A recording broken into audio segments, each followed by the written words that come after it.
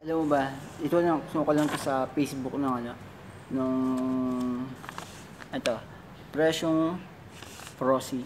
Ayan, yung mga gulay. Mapapansin mo, yan. Magkaiba to. Kada, ano, kada araw, nag-update sila ng presyo ng mga gulay.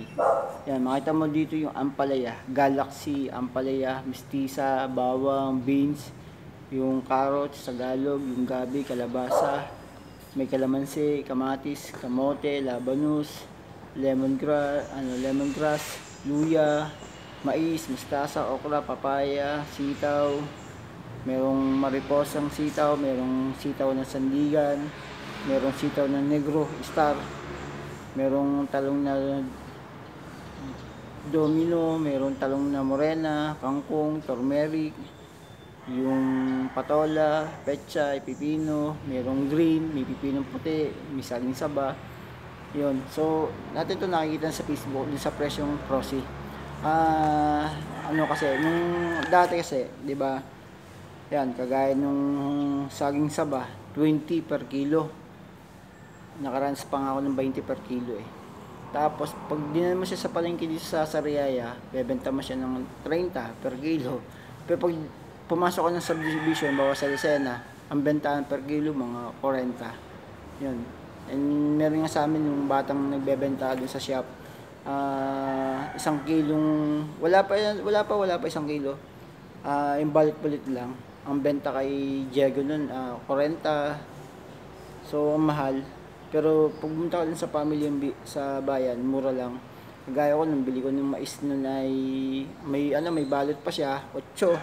Pero may yung ano na ah, yung balot na mura lang. Nakakatuwang bumili ng mga gulay dun sa family ang bayan kasi mura-mura siya. And maganda yung bandel, mas makakapamili ka. Meron namang nandun sa ano sa labas naman, 'di ba yung family ang bayan sa loob, tapos meron sa labas. Ah, mas required na lang bumili ka dun sa loob kaysa dun sa labas para sa akin. Kasi yung quality nandun talaga. Kasi dun sa may ano, ah ang sarap magnegosyo kapag may pera. Ang hirap lang pag nagbebenta ka na, syempre nabubulukan ka talaga. And iba din talaga yung makabili ka ng sariwa. Ang isa din sa nakikita ko, talagang dati nakaranas ako na bumili ako ng ah, mura pa yung ano yung kamatis noon.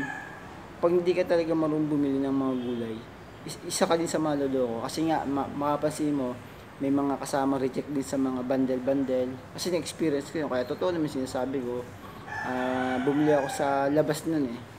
So, kailangan ah, matalino ka din sa pagbili at saka alam mo yung presyo. Kapag hindi ka nakasubaybay sa presyo, isa ka na din sa mabibiktima na ay mali, na malulugi ka.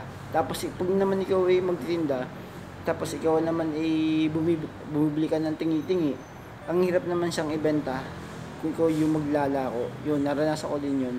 Ah, yung gulay kasi an- kailangan pagbili ka ng ano, mga bagay na ano, pang merienda na lang, bawa mais, kamote, ano ba yung mga saging saba, o kaya yung yung balinghoy, yung mga ganun. Kasi hindi siya agad nasisira. Kagaya ng kalabasa, medyo matagal masira yun. Inaabot na isang, ling- isang linggo kung di ako nagkakamali. Pero kapag naman binalatan mo yun, yun, madali naman siya mabulok. Kailangan talaga may refrigerator ka. Yun, um, doon mo ilalagay. Tsaka, ano, yung talong, ganun. Ah, yung sitaw, pang isang araw lang o kaya dalawang araw. Pero pag nagtatlo na, ang hindi siya magandang kainin talaga. Ah, yun lang and talagang nasa diskarte din sa negosyante. Ah, yung sa akin naman yun sa kapatid ko luya, kamati, ah, luya, kalamansi talaga. And yun, ah, yung tiya, itiyuhin ko, hindi ko pa nga nabibigyan ng luya. Marami siyang order sa akin. Din ang phone niya. So, yun yun, tinatapos ko ng vlog na to, ang kwentong ito. Sana may natutunan kayo. Kung di naman yung wala kayong natutunan, okay lang po sa akin.